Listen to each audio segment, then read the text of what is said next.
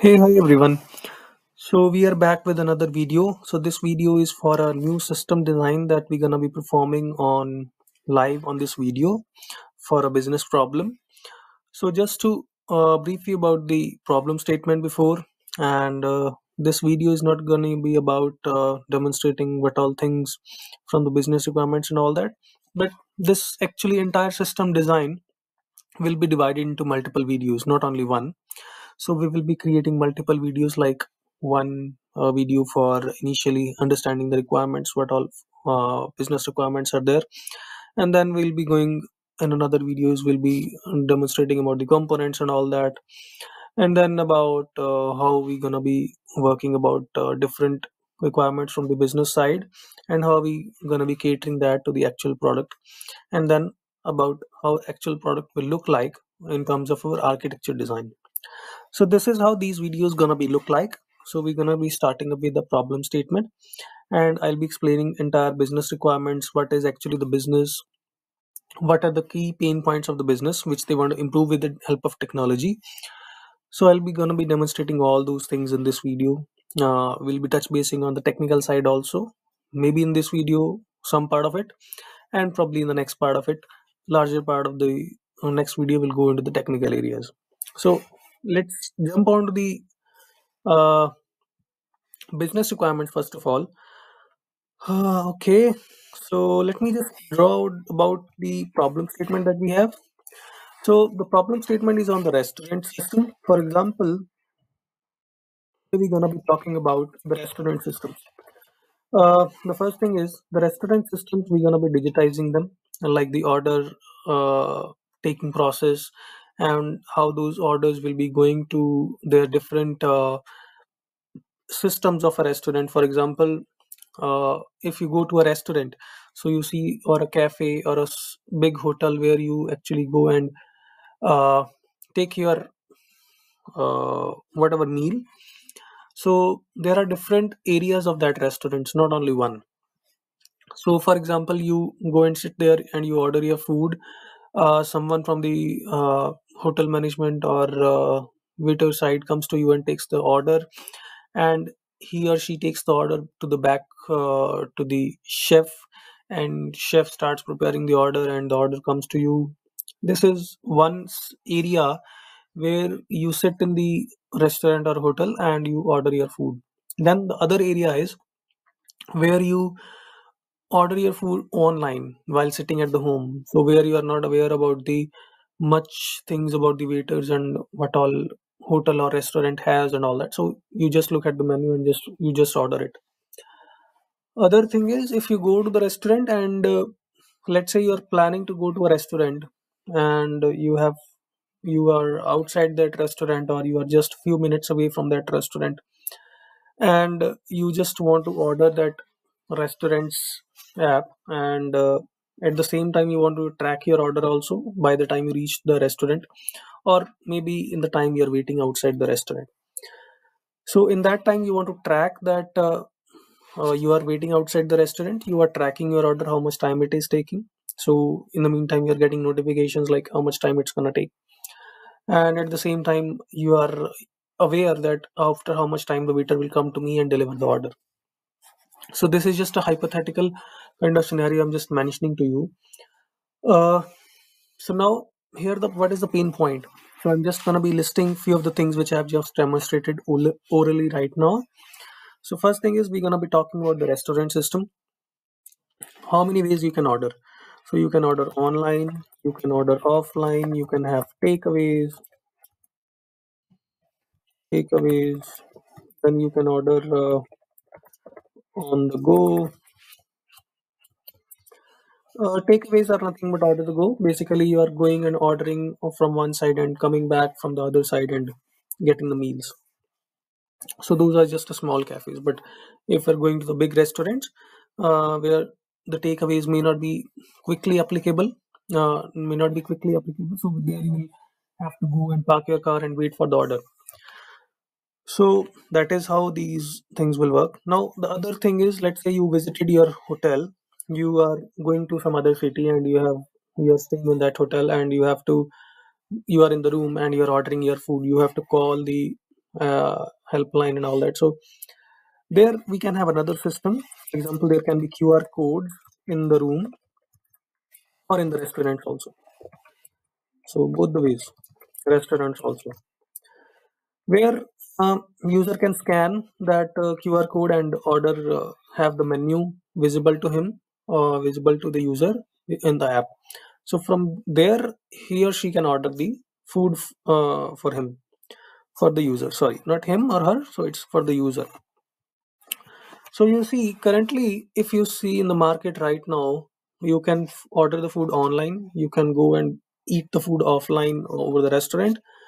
And you can sit outside the restaurant in a car or something and you can order your food from there also then you have takeaways where you have small cafes not small but uh, for example the quick food cafes for example mcdonald's or kfcs so you go there and you uh, enter in one row and visit out from the other row. So that's basically a small quick snacks kind of thing which you can do quickly as a takeaways.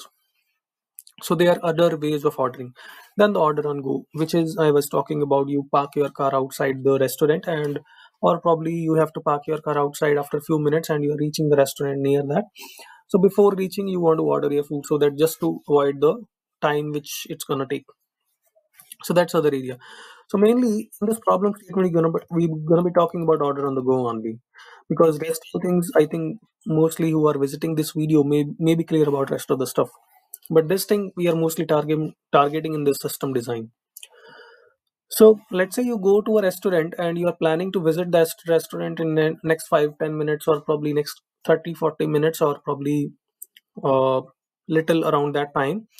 And you are thinking that while i reach that hotel or restaurant i should have my food ready uh, even though i have to eat in car or even though i have to eat in the, while sitting in the restaurant. So both the options are there. It's not like only uh, in the car uh, while you have to sit and eat it's not only for that purpose but let's say you're gonna be reaching there in next half an hour and you have to eat your food in the restaurant and you don't want to spend time after reaching the restaurant again half an hour to just order the food and wait for it. So just you can just start ordering your food from there itself and in the meantime that order will flow to the different restaurant uh, uh, you can say areas just who, can start preparing your order. So that is actually the expected benefits. So the benefits here for the users one is quick food availability. This is for the user. And uh, user won't have to wait and in for billing and all that stuff if and or queue systems and all that if the restaurant is having a lot of rush on a specific uh, festival day sale not sale i would say but festival day uh, programs.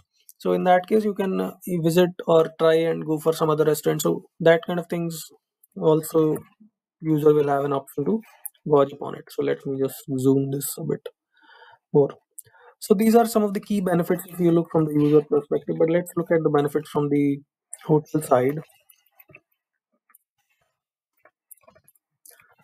One benefit is your uh, you will be able to track your customers better. Customers better.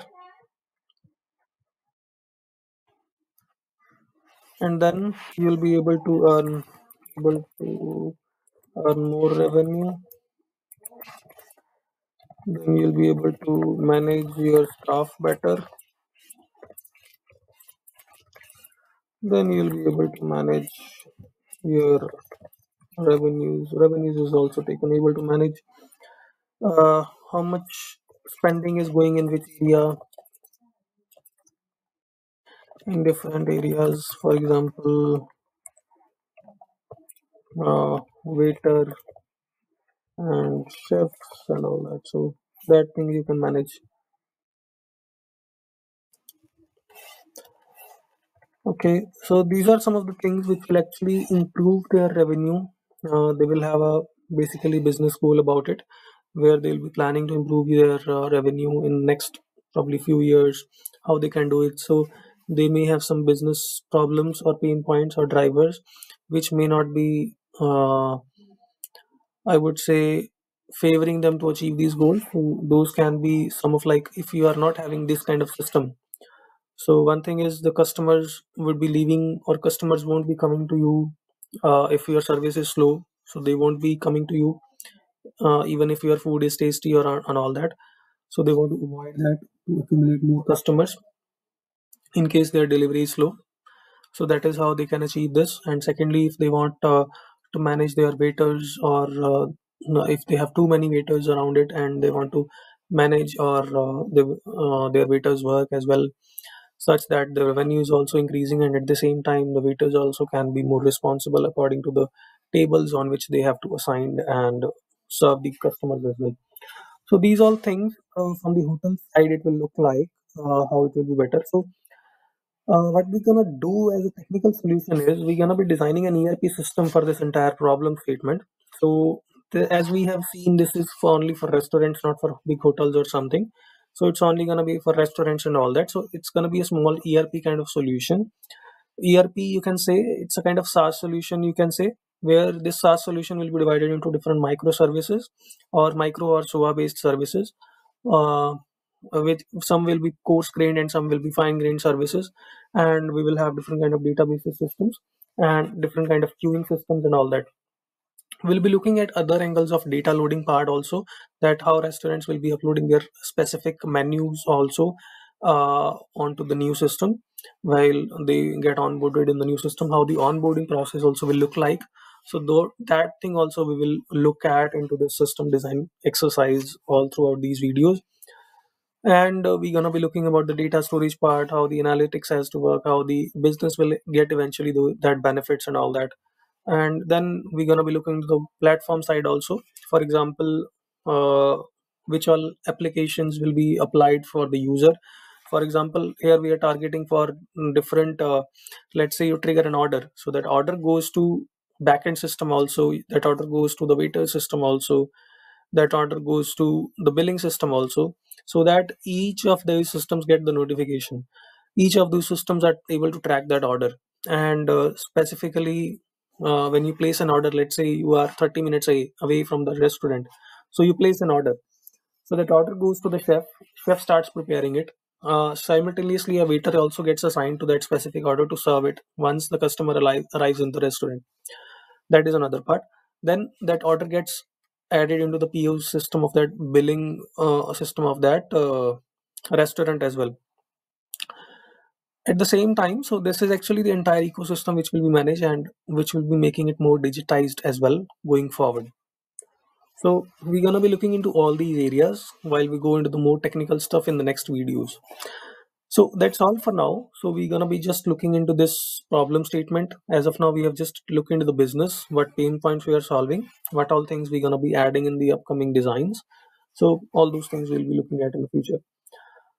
Okay, thank you for today. So we'll be looking into the next video where we will have the technical system design as well. Till then, keep learning, keep growing. Thank you. Bye.